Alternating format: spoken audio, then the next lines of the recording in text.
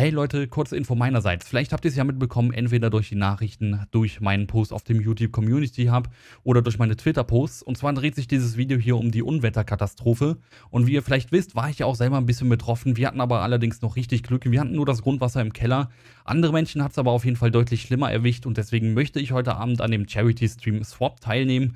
Dabei werden wir einmal Spenden für die ganzen Hochwasseraktionen sammeln. Ich werde auch hier in der Videobeschreibung noch weitere mir bekannte Spendenlinks aus der Region Kreis Ahrweiler einmal ähm, in der Videobeschreibung verlinken. Da könnt ihr auch nochmal unterstützen. Und wenn ihr euch vielleicht jetzt denkt, ich habe hier vielleicht noch so ein paar alte Sachen oder ich komme vielleicht auch selber aus der Region und möchte mit anpacken, dann empfehle ich euch auf jeden Fall, also zumindest für, den, äh, für die Region Kreis Ahrweiler, äh, informiert euch da am besten bei Twitter, bei der Polizei Koblenz, denn die informiert euch, wie das Ganze ähm, zum Beispiel abgegeben werden kann, wo ihr da mit anpacken könnt. Denn ähm, die letzten Tage war hier absolutes Verkehrschaos durch Helfer halt auch eben verursacht, weil so viele Leute ankamen.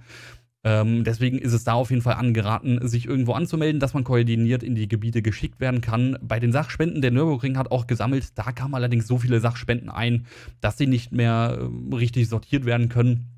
Und ähm, da hat auch die Polizei Koblenz einmal informiert, wo ihr da vielleicht Sachen äh, anmelden könnt, um die abzugeben. Und ähm, ja, wir sehen uns dann heute Abend bei dem Charity-Stream. Und ich bedanke mich für jede Unterstützung. Wir sehen uns heute Abend.